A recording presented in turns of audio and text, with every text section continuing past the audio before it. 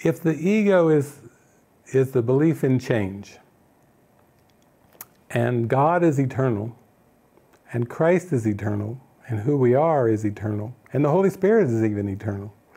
If, if heaven is real and everything's eternal, and the ego is the belief that you can change your identity from eternity to time. That's, that's what change is the belief you can leave eternity and make up time and make up an identity that's not like Christ, a body identity, and make up a time identity instead of an eternity identity.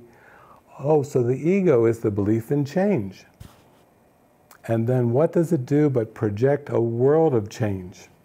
And Jesus is saying the ego is not really you, the ego isn't real, the ego wasn't created, change is impossible, and you're going to have to join with me in a purpose to show you the unreality of the ego and the unreality of change.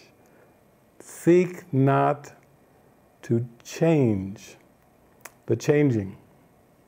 Well, if the ego is the changing, seek not to change the ego. And the world is changing, seek not to change the world. Seek rather to what? Change your mind about the world.